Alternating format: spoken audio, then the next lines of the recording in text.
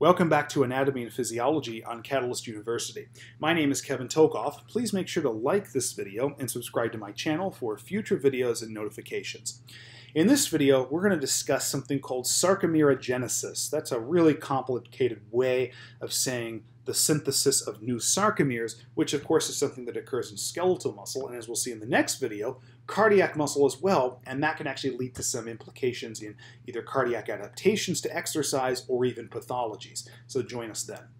Now, sarcomerogenesis is something that occurs with two different mechanisms and those are sarcomeres in parallel and sarcomeres in series. So what we're talking about here is the addition of new sarcomeres, or in one case we'll actually see the removal of sarcomeres. Okay. So let's start by looking at case number one right here. This is a normal untrained skeletal muscle fiber, and each one of these squares represents a sarcomere. And obviously we've got many, many more sarcomeres than this. This is just an abstract picture here so you can understand the concept. So here we've got three sarcomeres, okay?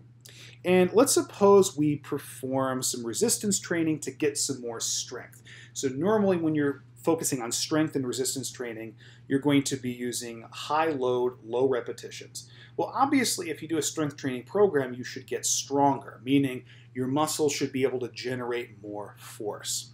So how does that happen? Well, usually to get more force, you have to have more sarcomeres. And sarcomeres can either be added in one of two ways. They could be either added in this direction, so in series. In other words, if I added a sarcomere like this, that would be in series, okay? But instead, usually with uh, resistance training programs that give you low repetitions, high load, you get sarcomeres in parallel like this. So what does added in parallel mean? Well, suppose I start like this. So this is what I originally have, right? So this is a, a, column of sarcomeres that are going parallel to the long axis of the muscle, right? The length of the muscle. Well, I can add more columns parallel to this initial column, right? So I've added two more of those.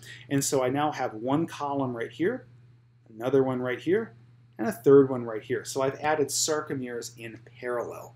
So this kind of adaptation is, like I said, something that will normally occur in a strength training program, and it results in increased force output by the muscle fiber, and so the amount of torque that that muscle can generate increases.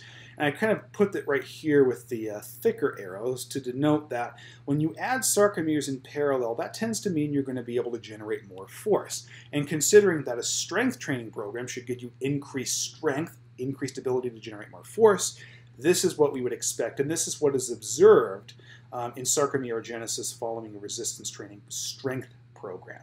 Okay, so that's sarcomeres in parallel. And the key thing to really understand about this is that this arrangement can generate more force than the initial setup we had. Okay, more force. Adding sarcomeres in series is adding the sarcomeres in the same axis. So instead of adding them in a column parallel, you just add them in the same axis like this. Okay, so hopefully that makes sense. And we get something that looks like this over here. Generally speaking, when you add sarcomeres in series, it's going to result in a muscle contraction at a higher velocity. So the muscle's going to be able to contract a lot faster. Also, it's going to have a greater shortening capacity. So it's going to be able to shorten more than it would be if it had the original arrangement right here. In other words, case number three will be able to shorten more. It'll be able to contract further than it would if you had case number one. However, we don't see any increase in force with sarcomeres added in series. It doesn't affect the force output. Only parallel arrangements, or sarcomeres in parallel, increases force output. But in series, we get increased contraction velocity and shortening capacity. Now, what's a case where we might see sarcomeres added in series? Well, if we have sarcomeres added in series, that could be simply a case where we have a muscle that's been chronically uh, immobilized in a lengthened position. Okay, um, so for example, if you have some kind of surgery and you have to have your uh, a limb immobilized, and so if a limb was immobilized in such a position that a muscle, let's say, was chronically lengthened, well, then that muscle is going to adapt by increasing the number of sarcomeres in series to counteract that increase in length. Okay?